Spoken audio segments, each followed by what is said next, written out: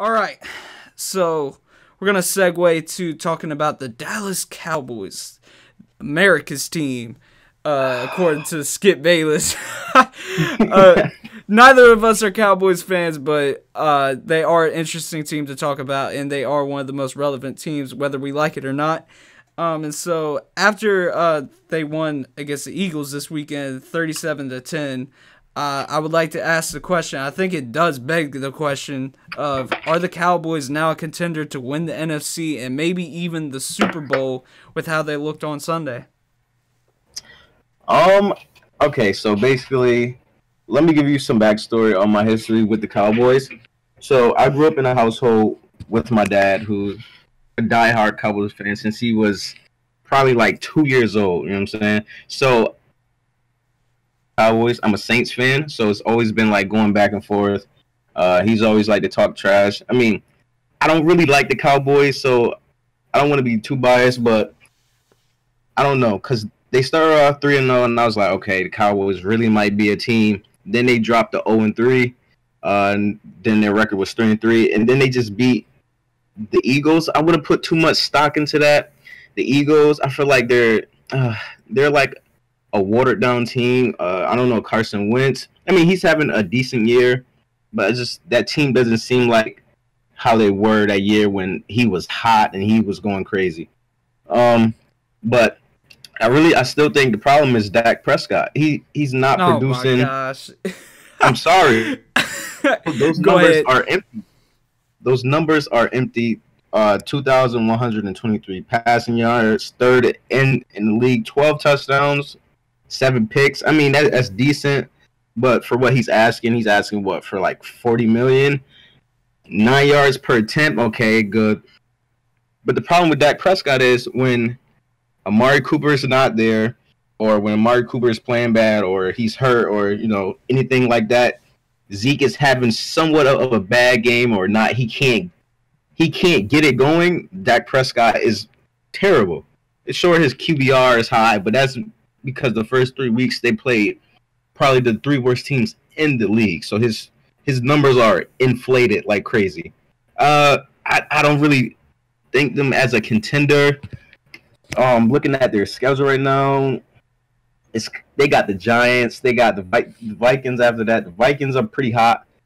The Lions, Kirk the, the Lions, yeah, Kirk the Lions Cousins, he's figured it out. I mean, you look at him and he's he's been going off. He ever since Adam Thielen and Stefon Diggs called him out, he's been going crazy, which I do think you have to give him credit for. Yeah, for sure, for sure. Um, they got the Lions. The Lions are going to be a tough out. The Patriots, I don't see them getting past the Patriots. The Bills are a really dangerous. Um, they're a tough team. Whether or not Mitchell Trubisky plays good or not, that defense won't. is always good. I, I, I'll tell you that right now. He won't. The dude's He won't. Garbo. I'm sorry. I may I may be biased because I wanted the Bears to draft Deshaun Watson because I am a Deshaun Watson fan wholeheartedly. I will admit that I am a little biased towards Deshaun because he went to Clemson, but I mean it was pretty obvious that Mitchell Tr- Trubisky should not have been drafted over Deshaun or Patrick Mahomes. For sure. Yeah, I 100% agree with that. That was some bogus stuff. I mean, ju- But, just look um, at the way he played against the Saints. I mean, the dude could not throw the ball down the field, and he threw it over Yeah. 50 times and only had about 250 plus yards. Yeah, that's awful. Yeah, that's, so- that's terrible. So what does that tell you? And the it was a 12 to 10 ball game against the Saints at halftime. That is a competitive game. You got to go out there and win that, and he didn't.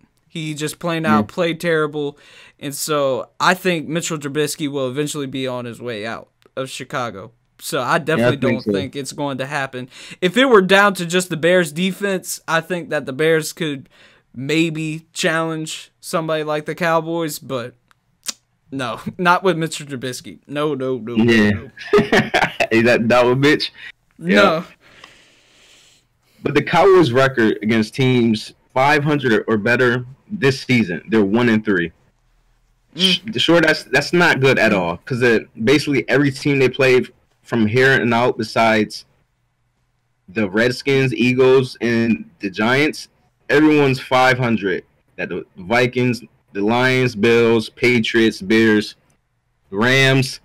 It's going to be after the Giants this week, which I think they will. They have six tough games in a row, so it's going to be really, really tough. Um, I can see them at best going eight and eight. Uh, I'm not. I'm eight not too high eight. on the Cowboys. Yeah, I'm not too high on Dak Prescott and the Cowboys. Yep. All right. I, I, I completely disagree. I do think that they are definitely a contender in the NFC. I don't know about the Super Bowl. I do not think that they could challenge the Patriots with the way that uh, Bill Belichick uh, comes out and coaches defense. And even if the Chiefs were to make it out of there uh, with their terrible defense, I still think that Patrick Mahomes would find a way to outscore him. So I don't think they are a contender for the Super Bowl. However, they are a contender in the NFC. And I'm to have to push back on the fact that Dak Prescott is terrible and everybody wants to call him trash because it's trendy. He's not trash. All right, he's not the greatest quarterback in the world and it's not even about does he deserve top dollar cuz I don't think he deserves top dollar. I, I don't think anybody will challenge that. I think if sure.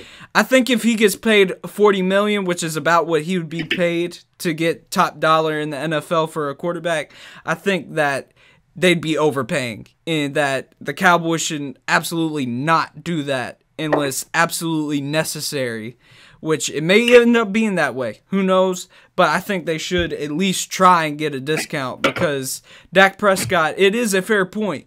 When Amari Cooper is out, or when Tyron Smith is out, he has been pedestrian at best. I mean, and it's really even more so with Tyron Smith because I saw an interesting stat today, uh, this morning, uh, when it comes to his QBR when Tyron Smith mm-hmm. is on the field and when it's off the field.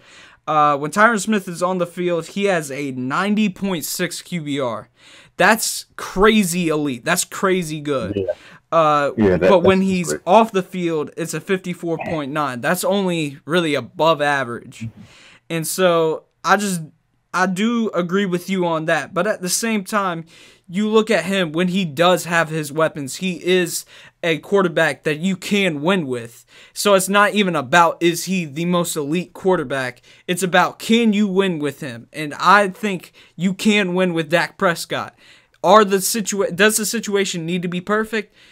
Basically, yeah, you got to have all yeah. your pieces around him. You got to have the offensive lineman, uh, you got to have the wide receivers, and you need to have the running back. But when they do have that, they are a prolific offense. You look at their offensive stats; they're first in yards per game, even with their poor performance in the three game stretch. They're fourth in points uh, with passing yards per game, fourth in rushing yards, seventh in points per game. I mean, you look at that, those are elite stats. And I think that will carry over into November, December, once things start to get more competitive. And even though we did talk about uh, with the schedule how Kirk Cousins is on fire, you look at Kirk Cousins, he's only won once against the Cowboys. Now, that was with the Redskins and they didn't always have the pieces around him. But I still think that Kirk Cousins, you cannot count on Kirk Cousins uh, and have those high expectations. When the expectations are high, this man collapses. I mean, can we agree on that? Yeah, we yeah, most definitely. the Bears, 100%. like I said, not beating them with Mitch Trubisky. He's just he's not an elite quarterback. All right.